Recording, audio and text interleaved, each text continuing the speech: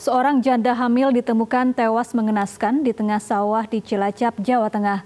Korban tewas dicekik oleh kekasihnya yang marah saat korban meminta pertanggungjawaban atas kehamilannya.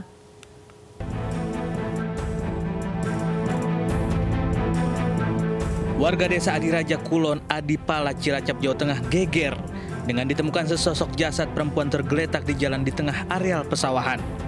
Polisi yang menggelar olah TKP mengungkap jasad wanita Malang tersebut adalah DA, warga desa Ketanggung, Sampang Cilacap. Dari hasil pemeriksaan sementara korban tewas kehabisan napas akibat cekikan di leher. Polisi yang menyelidiki kasus menangkap pelaku SA alias Imin yang merupakan kekasih korban.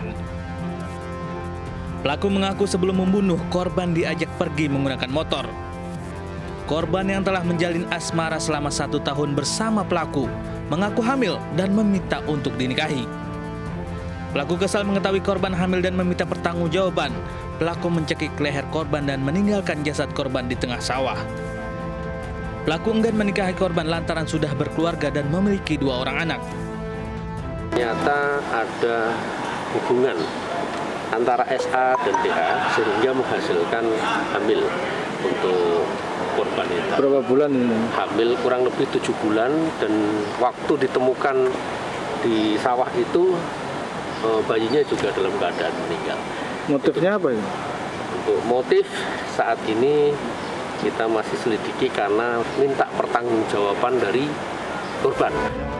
Pelaku terancam hukuman 15 tahun penjara karena melanggar pasal 338 tentang dengan sengaja menghilangkan nyawa orang lain.